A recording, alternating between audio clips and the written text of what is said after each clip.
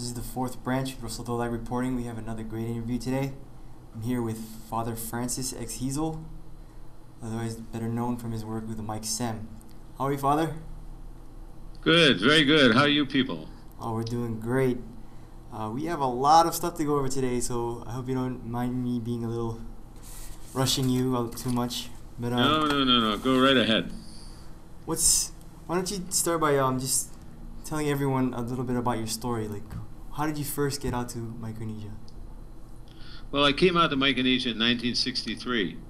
I came out because uh, I was reading a book at the site of the pool. In uh, this is in the seminary, uh, and this was the summer of 1962. And the book was about missionaries. And I said to myself, I think I could do that. So I wrote a letter to the provincial volunteering uh, for the Carolines because that was the mission of the Buffalo province, of which I was a member. So the provincial said, uh, "Well, uh, take a physical exam, and when you, uh, if you pass a physical exam, let me know." Well, I did pass a physical exam. I heard nothing from him for a couple months, and finally word came, "You're elected. You're in." So I began uh, getting yearbooks, copies of yearbooks and so forth, and looking at the pictures of people and deciding that uh, Micronesians didn't smile very much, at least not when they were posing for pictures. Uh, was I wrong? Uh, but uh, but I went anyway in 1963, and that's been the beginning of uh, what? It's almost it's 40 some years. It's close to 50 years now. Association, right? Oh, yeah. Very. It's been a wonderful time prodigious. Um, what were you doing when you once you came out to Micronesia? I started off uh, teaching at Xavier High School for three years, went back to do my theology in the U.S., and then came back again in 1969. Uh, from 1969 until 1982, I was at Xavier. For most of those years, I was the uh, director of the school. Uh, remember, the principal and director were the same person up until that time we split it off, so we got a principal, and uh, I was director from 1973 on, uh, 1973 to 1982. So uh, I was there. We were doing curriculum revision, and uh, I was teaching uh, a little bit of everything, really. And then after that? Well, actually, during that, uh, from 1971 on, I was working with Micronesian seminar. I mean, uh, let me put it this way: that um, in uh, the uh, conference of Jesuits, we not just Jesuits, but church people get together. In those days, we got together about every two years. Uh, we had what we called the Vicariate Pastoral Planning Council, and we decided that, that we needed to put some time and resources into educating not just school kids, high school kids, but into the into the community. So we, uh, so what we did was uh, we decided, or they people there decided that they would uh, create an organization that they called a Brand X. Uh, they didn't know what to name it, and uh, its job would be to raise issues in front of the community, to get the community talking about economic and political and social issues. Uh, later on in that meeting, it was called Micronesian Seminar, and I was appointed the director, and I've been the director ever since then. I hope it's carried on its mission. I think it has. So, uh, where are you right now, though, Father? Well, I'm in New York. I'm here on sabbatical. I was sent back on a sabbatical, and uh, I was. Uh, it was supposed to be for a year. Um, I think I mean, the impression I got was that I was supposed to come back this summer sometime. Now, unless that's been changed, that's what I'm expecting to do. I see. I don't know whether I'll go back to the old job at MicSem. I'm, I, uh, my understanding is that um, uh, there are uh, the leadership of the Jesuits wants to do some transitional work at MicSem. I'm not sure what that involves. I'm not sure that any decisions have been made yet. And if they've been made, you know, I certainly haven't heard anything about them. I see. A big question raised on the internet is what's the status of MicSem right now and what's going on with you?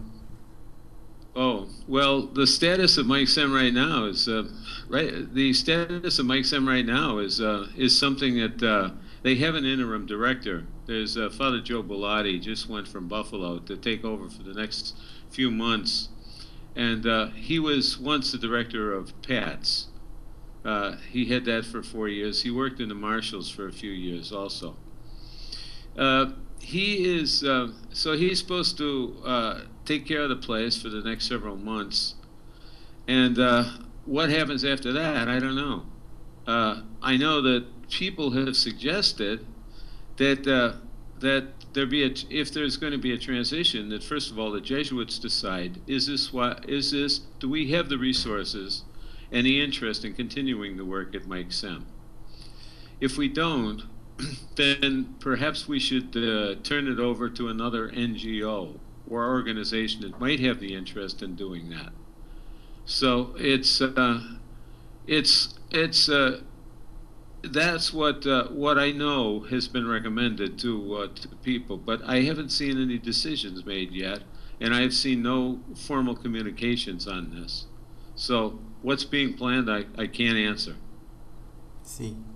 Well, thank you for that information. Uh, it's been a lot of whispers going around, people concerned that it was going to close down, that you're not coming back. But I guess uh, we got some good information. Some truth has been revealed to that effect.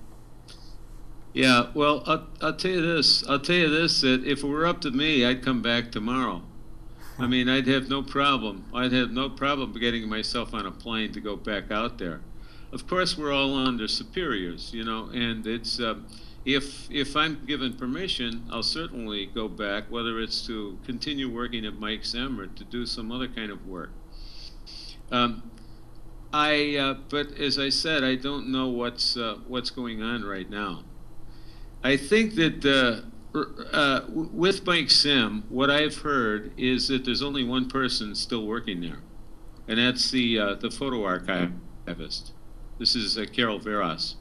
Everybody else has quit or been laid off because of money, and the money problem, the money shortage, is because of the fact that there are no pro- projects that were taken this year. So of course, there's no inflow of money. So the library is still there, though. All those books and The library is still there, and um, my understanding is, again, you know, I've got no inside information, but my understanding is that the um, that people uh, made the uh, a strong suggestion not to start uh, carting these things off to University of Guam or University of Hawaii or anything like that. It's an organization that's grown organically, and the resources there were uh, designed to assist the work in MicSem, whether that's in history or in um, putting out issues of the Micronesian Counselor or whatever else it does. You see, MicSem should be seen, I think, as primarily a community education uh, work. It doesn't necessarily have to be done in the form that we've done it with in past years. Actually, the form has uh, has has been transformed over over time. I mean, once we used to do papers, uh, then we started the Micronesian Counselor, then we got into TV programs, then we got into radio programs. Mm. You see, it's uh, we one time had uh, gatherings of people every month, uh, and then afterwards we uh, we set up the forum discussions. So this evolves over time. The methods do, but the purpose should be the same, I think, which is to uh, give people an opportunity to discuss questions that are important and to stimulate them to do that. I think you guys have been doing a lot to that effect, uh, quite admirably. And I think a lot of people are afraid to lose the resource of the library, and that's why they've been asking that question because it's such a rich place of knowledge about Micronesia. Yeah, and I, I certainly want to see that uh, remain in Micronesia. You know, not carted off to, let's say, Hawaii or, frankly, not even Guam. Yeah. okay. Uh, certainly not the Chaminade. Huh? All right, Father. um, in your time in Micronesia and at MicSem, uh, you've written a number of books and articles that have uh, appeared in journals. Um, which which of your works do you think was the most challenging to make to write? Uh, the first one, well, not the first one actually, but the uh, the first taint of civilization. The first taint of civilization, because uh, uh, you know what what people don't appreciate is that uh, you have to work in a lot of different languages. Now, there wasn't anything in the Micronesian languages, but you have to you have to work in Spanish. You have to do, you have to uh, be able to handle a little bit of German at least. Certainly, uh, certainly fr- uh, French. Well, incidentally, French and Latin. Mm. You know, as far as of course English. Uh, Japanese, I can't do much with. You know, we have to get uh, we have to work out a translation there. But it was challenging not just because of the languages uh, in the source material, but it was challenging also because uh, I hadn't done anything like that before. I hadn't put together a full volume that was published commercially, University of Hawaii Press. And I wanted to make it as interesting as possible, uh, but I wanted to make it uh, uh, readable. I wanted it to be readable by people who weren't necessarily historians. And uh, that's what made it challenging. Well, what uh, what happened was what you see, and uh, after that, the sequel came out. Taint Two, as they uh, some of the people say, or uh, the uh, what was the name of the book Strangers again? in Their The, uh, Own Land? Strangers in Their Own Land. That's right. Yeah, good reading. Yeah, that's Kept it. me up at night. yeah. Well, my brother said that my brother said that the print should have been bigger. He would have gotten further in it.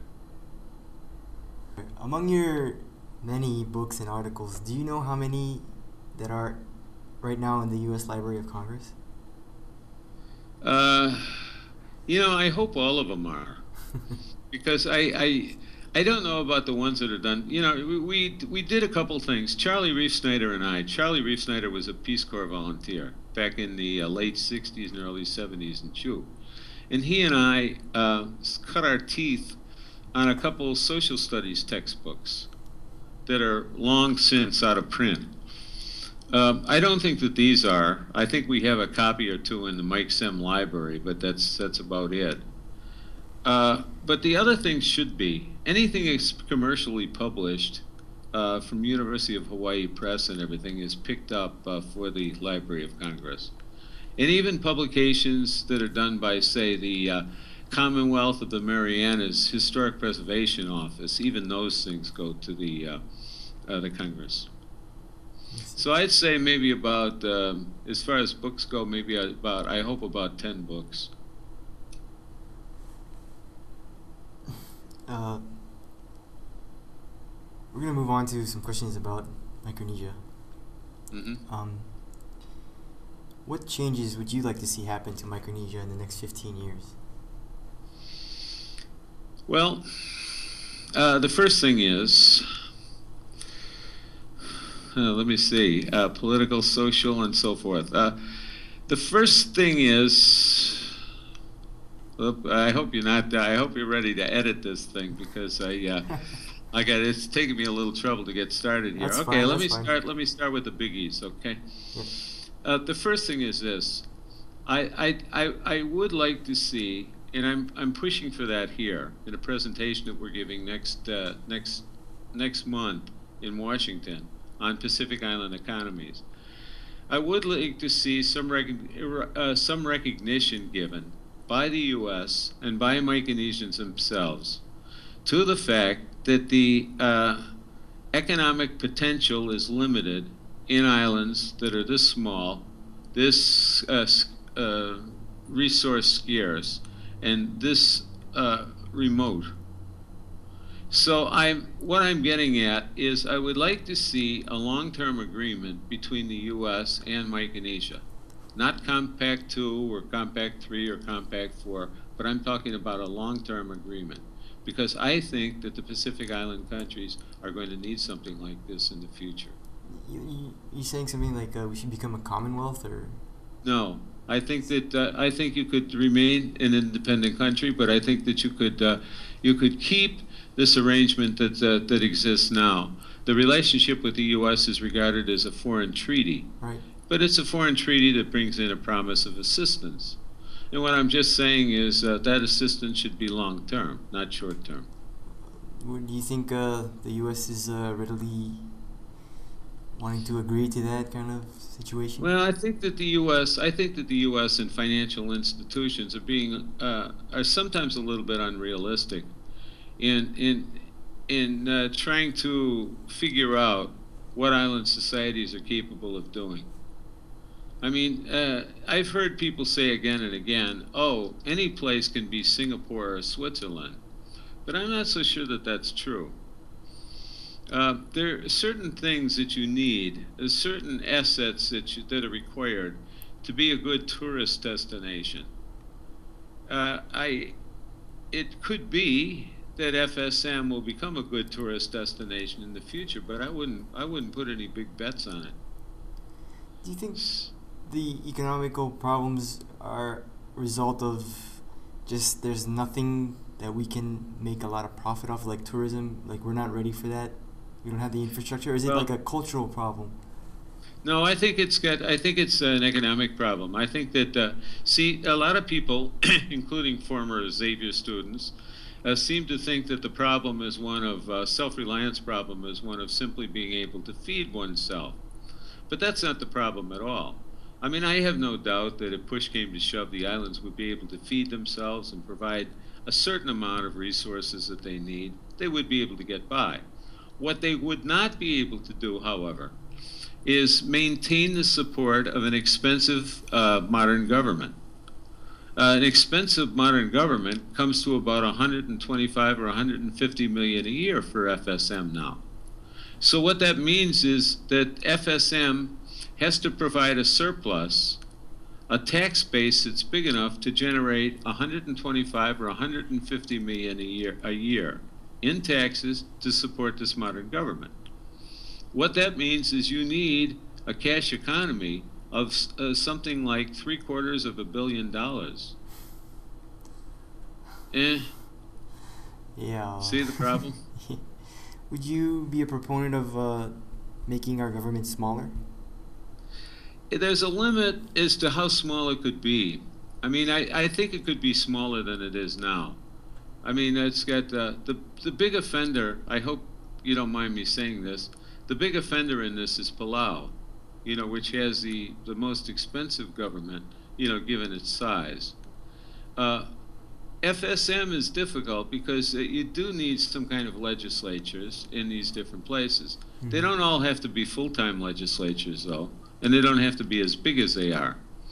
You could save some things, but uh, you know you'd still have to pay the teachers and the policemen, and you'd have to pay the uh, postal employees and uh, and people like that. So uh, you could cut some expenses, but uh, I don't think you're going to get the cost of government down much below 100 million a year. Oh. Well, hopefully. I could be wrong. hopefully we can figure something out. Yeah, yeah, could be wrong. Do you have any other big changes you'd like to see? Uh, is social changes, I think that, uh, you know, this may sound weird, but uh, I think that Micronesia seems to be handling the social changes pretty well. I mean, what I mean is that uh, they're not rushing to change things.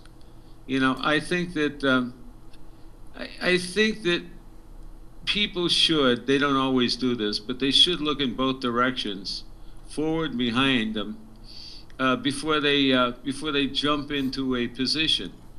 Uh, for instance, um, I think that women's groups sometimes, uh, in advocating positions, find themselves supporting positions that are um, more representative of the U.S.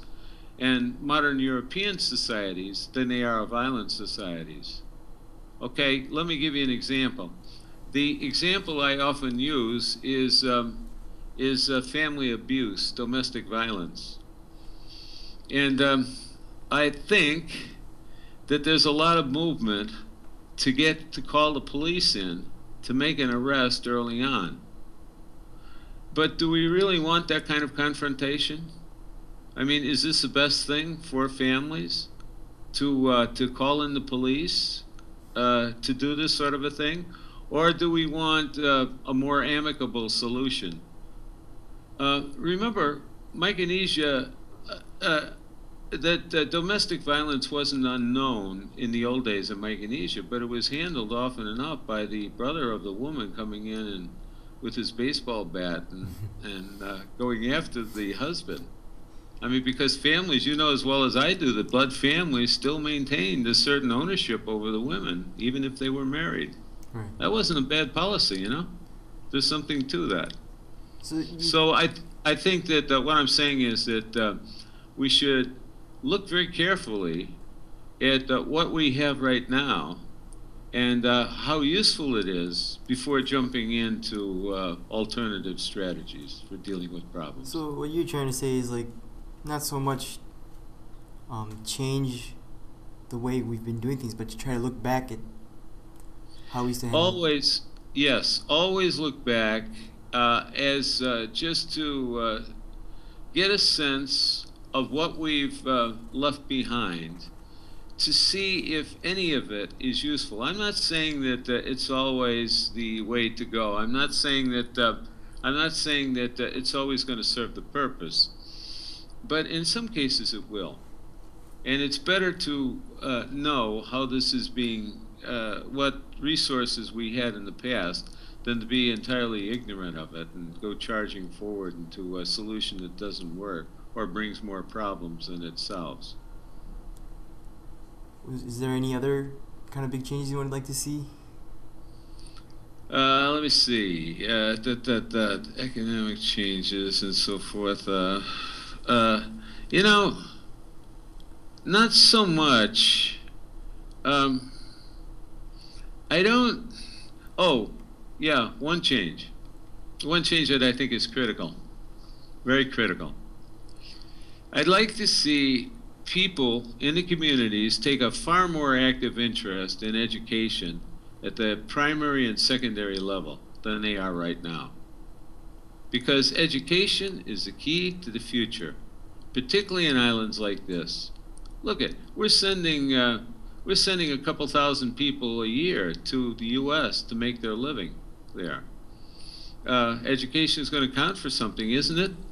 Uh, A B holder and uh, MA MA enrollee.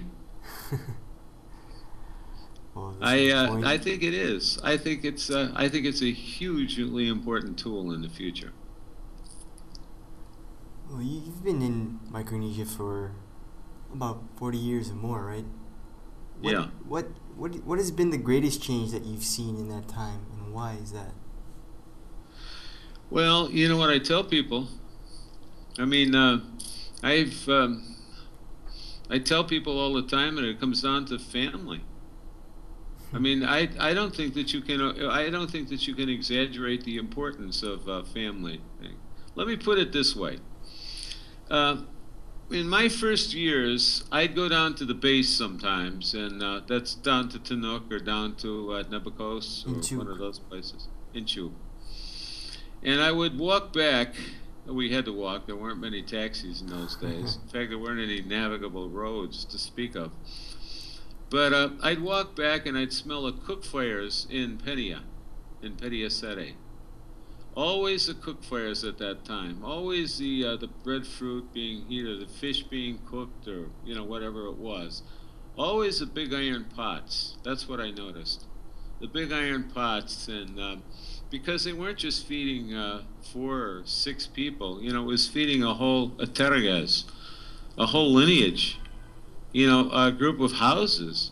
This is the way people worked. I mean, I saw people go out and pick breadfruit. People pick breadfruit now, I know, but it was done in larger groups. And uh, the larger groups made uh, uh, a more widespread cooperation possible. And it also protected people. Uh, oh, I don't know. I've written on this thing a few times and related it to one thing after another, related it to the suicide problem, um, related it to so many things that have uh, that have happened, even domestic violence that we were talking about. The the money economy has changed the shape of the family, and the shape of the family has changed about uh, 20 or 25 other things. It's that's the formula I'd use to describe it. I see. So this is one of those things that we should be uh, looking back to. It's one of those things that you're looking back to. You might not be able to recoup it, but remember, people are trying to do that already. Um, people in my family, even here in the states, get together uh, for a week in the summer in the mountains.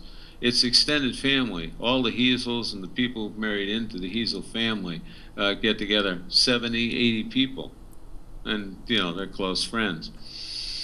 Um, uh, gather for a week to uh, uh, connect with one another. Well, the same sort of thing is happening in Micronesia, I think. That people are beginning to connect with one another, uh, uh, create holidays, uh, like January 1st. A lot of Protestants in Chuuk were regarding that as Family Day.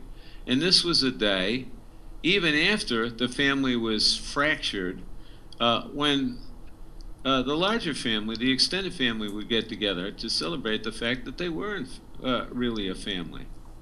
So that was a good idea. You know, it's recouping something from the past. It's not going to um, piece together once again, you know, that family that we had before, but it's going to, it's a step in the direction of recognizing the importance of what was once available, but has uh, passed away now, perhaps inevitably. You've seen, I'm sure, so many amazing things in your time in Micronesia. Mind sharing two of your best memories of your time? Of amazing things? Anything, your best memories of Micronesia. Uh, I've got many memories. Amazing for you. What's what's in your heart right now? I got many good memories of, of Micronesia, but it's uh, well, you know, I think of parties. I think of uh, I think of times that we've gotten together. I think of uh, you know stories that we we told. I think of one time at um, one time in Ponape we were doing the um, uh, we were gathered around this uh, Christmas crib uh, lighting in December, and there were about 20 of us sitting in a circle and we were telling stories about ourselves. This is about midnight or one o'clock in the morning. So uh, a few glasses of wine had been consumed, but uh, telling stories about uh, telling stories about ourselves, telling stories about when we uh, felt bad towards our families, and you know other revealing things, and and uh, that was one of the moments. There were other times. There was there were times in there was there was one time in Chuuk when uh, I was staying in Faichuk. I was living in a little place, uh, Natutu, the mission center. And I walked with a couple uh, 10, 12 year old kids that I knew uh, to a distant village. Met a Peace Corps volunteer there. Uh, this, this guy was a real character. Uh, he gave me, uh, he gave me um, a watermelon to bring back the kids carried it back, and uh, when we got back to the house, I presented it to the sisters, uh, the MMB sisters there at, at the mission. They cut it open. It smelled bad, so they threw it away. When uh, when I, I saw this Peace Corps volunteer the next time, I said, uh, I told him that uh, this, I gave the watermelon to the sisters. He asked me how I liked the watermelon. I said I gave it to the sisters, and they tossed it away. They said it was bad. So he clasped his hands to his head. He said, Oh no. I said, What's wrong? He said, I took a hypodermic needle and uh, put a whole uh, fifth of vodka in the watermelon. so I lost. The sisters lost. He lost. You know, but it was that kind of thing. These goofy things that happen. You know, these uh, people trying to keep a tent over them on a, a picnic in an outer island. You know, in not an outer island, one of the reef islands trying to keep warm at night, huddling close to the faucets. There's so many of them. You know, they could you could go on all day. Well, I'm glad you have so. But. I'm just reminiscing. okay, Father. Um, we got some uh, questions from our viewers. What are gonna asking. Mm. I'll be asking them to you. Um, okay. This one is by Jerry Fagulimul via our oh, yeah, website. Jerry. He Mhm. said, uh, "What is your professional assessment of FSM as a nation to become strong in the long run, or weaken in the long run, as a result of political instability of Chuuk state and the nation national leadership who are quote hungry of political greed to be leaders? And whom, Yeah. whom do you think will make a better president of the FSM when the new Congress will vote?" Oh, I can't answer that question. I can't. That's sticking my neck out too far. But I, uh, I attempted to, but I no, I better not. Uh, as far as the as far as the leadership goes, uh, yeah, there's too much. Um, there's it's almost as if politics has become a form of entertainment in Micronesia. It's almost as if um, there are rules for politics that don't apply anyplace else in life and uh, that politics has a little fence surrounding it, and that's too bad. You know, the whole idea was was supposed to be that a person was representing the government, but of course, uh, the people. But of course, where does that really happen? That's the ideal. But uh, do you see it in African countries? Do you see it in Mid East countries? Do you see it even in many parts of the U.S.? Uh, so we, I guess we can't fault Micronesia too much or other Pacific islands for not uh, achieving a perfection that uh, other places haven't been able to achieve either. Um, let's see. What else did you? Uh, there was one other kicker there. He said, uh, "Oh yeah, he was talking about Chuuk. Yeah. He said, uh, he said, what do you think about Chuuk?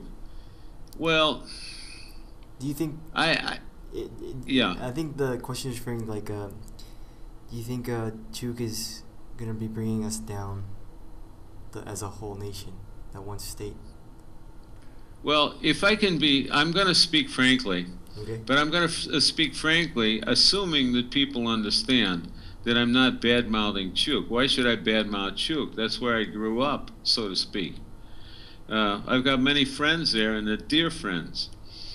But I do think that uh, that Chuuk can be oblivious to the fact, and I've talked to certain leaders there about this.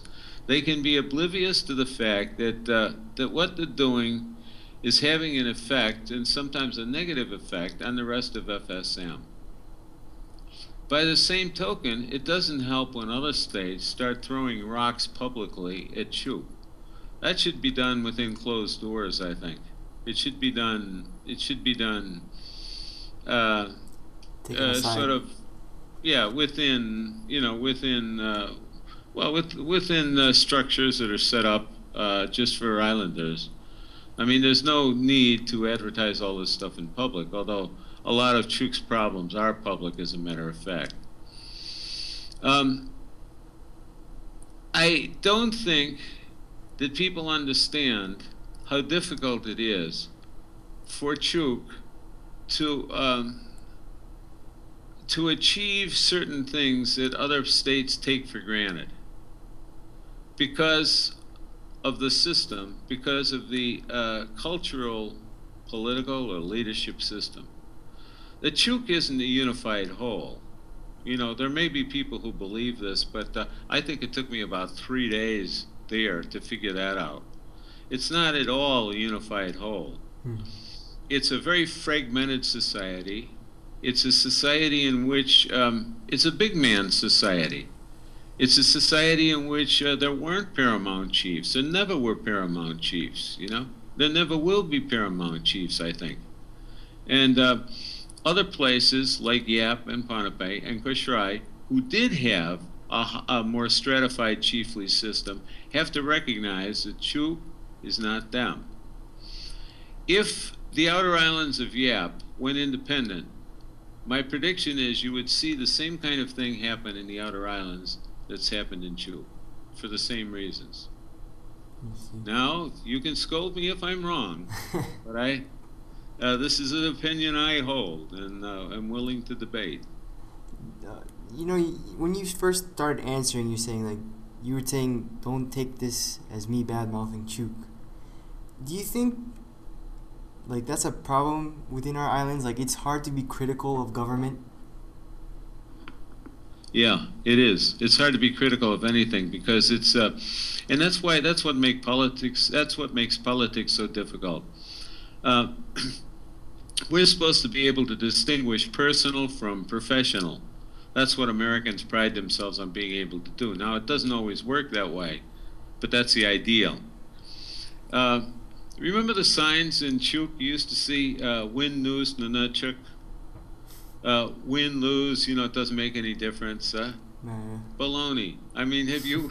I mean, I've never met a candidate, you know, who's who's lived up to that. You know, no matter what they protest on the uh, the signs that are decorating taxis that are used to haul people to the polls on uh, on balloting day. Um, I think that the I think that uh, voting is taken very personally, as a matter of fact, and uh, you uh, criticism of any kind is taken personally. And um, I have a chapter on that in this new book that I just did. But I don't think you're going to like the book. What's the book called? I don't. It's called Micronesia: A Cultural Introduction, and it's a short book. But it's a book on things like, uh, you know, what does a personal society mean? Personalistic society mean? What does, um, uh, you know, what does it? How is information used? And why are Americans always uh, confused by information? Let me give you an example.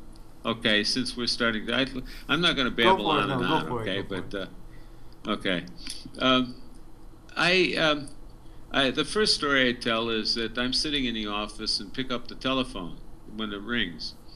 Somebody calls and says, uh, "Who is this?" And every fiber in my American being says, You tell me who this is. You know, you're the guy who called me. I demand to know who you are. You shouldn't be asking this. This is a, this is a reversal of proper order. Now, can you explain what's going on? I'm justifying myself from my American standpoint. You know, I'm picking up the phone and I'd like to know who this thing is. But this guy is asking me who I am. Why is he doing that? No, I'm not. Uh, this is not a test question or anything. I was going to ask the uh, the fourth branch there if they could figure out. No, I think he's doing it because he's trying to put people on a social map and figure out how to deal with them. You know, Yeah. if this is if this is a floor sweep, he deals with that person one way. If this is uh, this person is um, a Chinese, then you know he might deal with them differently. If it's a uh, if it's a bishop, you know that's uh, that demands another. You, you see what I mean? Right. That that always, always people need to be pinned to a social map. They need to have a face and a voice. They need to have an identity. That's the way things work in Micronesia. There's no such thing as impartiality. How can there be in a small island society? So I'm trying to explain things like that. Now, of course, this conflicts with the way Americans and modern nations do business. But might as well find out, identify the points of conflict, and find out why. And then uh, I'm not telling anybody how to solve these things. I'm just pointing out that uh, here's where you have a run in. So, anyway, that's what the book is about. When's, when is it out yet? It's uh, well, it's I just sent it into UH Press. It depends on how quickly they work and whether they approve it and so on. All right. Well, we'll be looking forward to that book. Okay, all right, yeah, but I don't think you're gonna like it because it's gonna be it's a little bit too stereotypical. It's um, it's not giving the particular particular cultural areas within Micronesia their due. It's just you know doing this whole thing, doing this this great big region known as Micronesia without any of the uh, uh, details that uh, living details that uh, that it should have. Let's see. Well, let's move on to our next viewer question. This Okay. is by Rechuk from our Yeah. also from our website. When asked about the problems our nation is currently facing, one of our great leaders of the past predicted that the FSM will either fall before she rises. In your personal opinion, is our nation still in the process of falling or has she begun to rise? Well, there's a certain. Uh, I, I, I worry about this a little bit, frankly. I worry about the fact that the uh, the original vision, you know, the first generation of Micronesian leaders is uh, pretty much gone now, and um, I I think this is to be expected in countries. Uh, does the second generation possess the same fire in the belly, the same passion? the same interest in uh, in in uh, carrying on their principles. I don't know, but I worry about that because uh, sometimes it seems that uh, that that's not uh, that's not happening. I see. Our next question by Hoss Rider, also from our website. What impact has organized religion had on the islanders, starting with the arrival of the Protestants around 1850? Considering the indigenous customs changed and intrusiveness in other ways, in your objective opinion, has organized religion been a plus or a minus in the region? Okay, uh, yeah.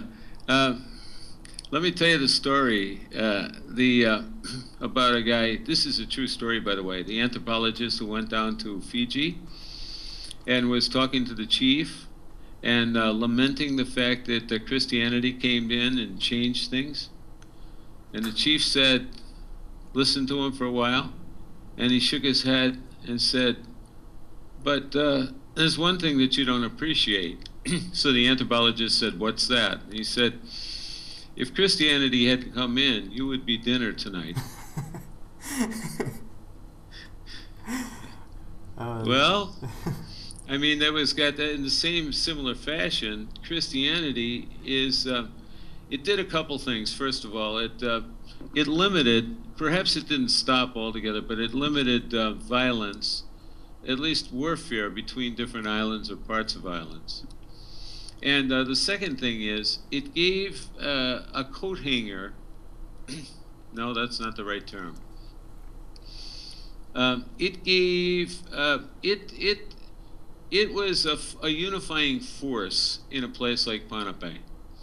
Because um, even people from different ways, you know, people from, uh, oh, I don't know, Kichi and uh, Sokehs and so forth, could relate to one another, even if they weren't from the same Penene, Kanak, and uh, Kanak, and so forth. Mm. They could relate to one another by virtue of the fact that they were Christian and that gave them a, a relational uh, connection that I think was developed on later in the uh, over the years, and that that in itself was uh, was important, I think. Also, I think it uh, it helped because it um, it uh, it was an introduction to the modern world not just uh, not just iron tools and uh, bags of rice and so forth, but an introduction to the way of thinking of the modern world. It uh, it provided, at least I think it provided, you know, some kind of an overview or philosophy for people to hold on to as they went through their uh, decades of modernization. So I think that those things were valuable features of uh, Christianity in the islands. So more of a plus than a minus for you. Well, of course. I mean, I can't do, I can't speak about that without bias. You know, I mean that's what I've been doing my whole life. But uh, I hope it was a, I hope it was a plus. I I think that um, I mean missionaries have made mistakes. I mean I've written about my own, and uh, I'm sure that anybody who came out here, either a Catholic, Protestant, or anything else, uh, could do the same thing. You know, could point out mistake after mistake after mistake, things that we simply got wrong, or ways in which we underestimated the uh, the cultural resources. But I think what we end up with is an appreciation for the uh, the way the culture holds together. And this is another point I'm trying to bring out in this this uh, book of mine that there's a logic to uh, the, this culture. It's not just weird practices and so forth. You know, they hang together. They make sense if you look at them as a, as a whole. Um, and I think that uh, Christian missionaries have come to realize this after a while. Uh, they've come to realize perhaps that they were a little tougher than they uh, than they should have been, particularly on externals. But I think by the end of their life or the end of their career overseas, they begin to see that they've learned as much, and their uh, their faith has been improved as much by the people that they've worked with or the people they've worked for as the opposite way around. Um, that people who they serve, supposedly serve, are also the people who benefit them in their understanding of the faith, in their uh, their relative sense of what's important and what's not so important in that faith. Well, Father, this is the last question I have. What do you personally want to be remembered as when uh, by the people of Micronesia? How do you want to be remembered? Well, I'd say two things.